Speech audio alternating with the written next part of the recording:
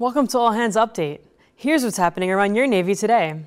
Secretary of Defense Ash Carter spoke to sailors about the impact of the proposed fiscal year 2017 defense budget during a visit to Naval Base San Diego.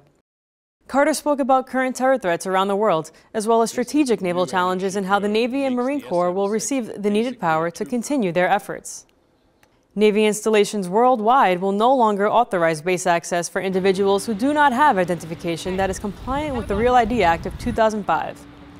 Individuals with driver's licenses from Illinois, Missouri, New Mexico, American Samoa, and non-enhanced driver's licenses from Washington and Minnesota will no longer be granted base access unless they provide a secondary form of identification.